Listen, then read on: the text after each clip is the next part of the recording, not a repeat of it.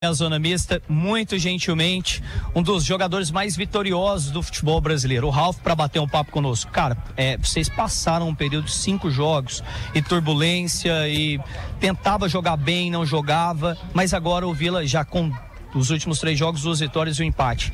Aquela confiança do primeiro turno, você já está vendo que voltou. Boa noite, seja bem-vindo, obrigado. Che só chegar um pouquinho para cá, junto comigo, Ralf. Voltou? Boa noite. Boa noite, primeiramente. Claro, cara, a gente sabe que a gente tinha que dar essa resposta rápida diante do nosso torcedor, né? A gente sabe que teve um jogo muito abaixo diante do Havaí.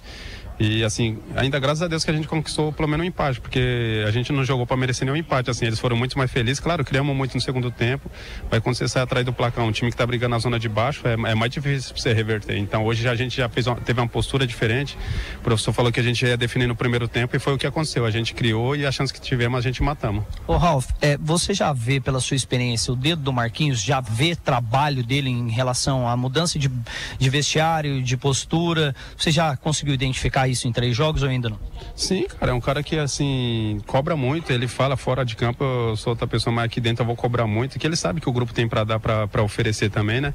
E ele sabe o que pode tirar de cada atleta. E a gente sabe que a gente vinha no, no, no incômodo de, de, vitórias. E ele conseguiu levantar, trazer esse astral de volta. A gente sabe que aqui é um grupo leve, é um grupo bom de se trabalhar, um grupo vitorioso. E a gente precisava dessa vitória. Ele já tem dedo dele ali no, no elenco, já fazendo os testes. Claro que é você trocar de treinador no decorrer da, da, da, da temporada é muito difícil do, do campeonato.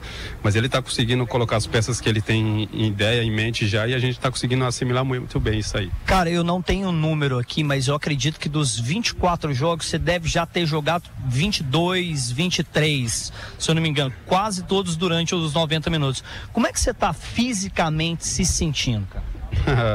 eu falo que eu nunca estou pronto, sempre estou melhorando, estou evoluindo, né? Então a gente está em constante evolução, todo dia tem que estar tá chegando cedo, dando exemplo, fazendo meus trabalhos de preventivo, de academia, de recuperação, para mim você cada vez está acrescentando mais no futebol, né? Então eu sei que eu tenho que melhorar, tenho que evoluir, a gente sabe que agora que virou o segundo turno, agora que alguns jogadores têm uma, uma caída, um declínio que é normal, como, a, como as equipes também. Então a gente tem que estar tá sempre bem preparado, porque agora que vai precisar desse combustível para a gente chegar às decisões. Deixa eu fechar com você ao vivo aqui no apito final. A gente sempre vê, cara, você passa aqui, é, torcedor te pede foto, você tem uma história linda no futebol brasileiro. Ontem, é inevitável te perguntar, ontem teve um grande jogo. Você tem uma história gigantesca no Corinthians. Estavam em campo ontem o Cássio e o Fábio Santos, com quem você foi campeão do mundo, campeão da Libertadores.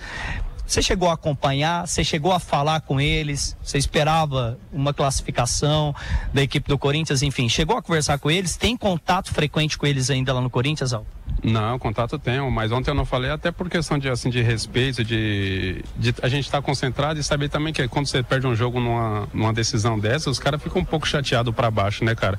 O cara quer encontrar força às vezes até da onde já, já não tem, né? Porque você perde uma classificação, você fez um dever de casa e chega fora, você não consegue essa classificação, é muito difícil. Então não, não falei com ninguém ainda, até eu sou, eu sou muito respeitador quanto a isso, eu espero um pouco de tempo para conversar, para mandar uma mensagem, uma ligação, para saber como é que tá, até para não falar do jogo, porque a gente sabe que o cara tá chateado, tá muito para baixo.